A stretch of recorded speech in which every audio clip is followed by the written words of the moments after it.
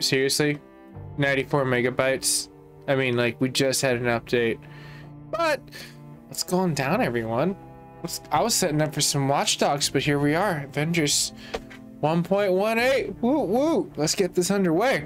More than likely, this is going to be an optimization fix that they have for the market. It seems like they're very consistent, but if you are new to the community, my name is Matthew with MacGyver 7 Channel, and we're going to be doing some game-related news on Marvel's Avengers. So let's go ahead and hop into it. But browsing the Marvel's Avengers patch notes, which I will attach at the very end, which is a whole other tangent of awesomeness inside of there. We also have Kate Bishop that finally joined the squad.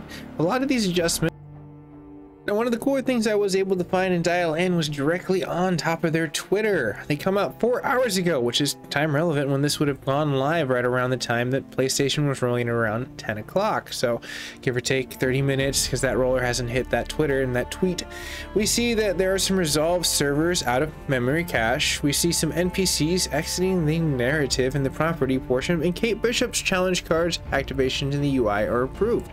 So, not too shabby. I'd like to think that they've done pretty decent for as far as what they've recently added inside of there. And we can kind of see some more cooler stuff. Oh well except for Captain America it looks like he's Gambit from like the X-Men. Uh, but looking at past that everyone if you are new to the network you can always like share and subscribe. This seems like it's a very basic patch note but we're gonna go ahead and slide over to our game just to make sure at that point in time for most people that we can kind of see what we're gonna get ourselves into. And it should be all the way over. Gonna go to my library where it's all at. Yeah. Avengers assemble Update history tells me to look at this, but that's why you came here. Because that's what I do best. I find the information around here. So if you are new to the network, I will see you guys and gals in the near future. Stay safe, stay classy, and have a very nice holiday.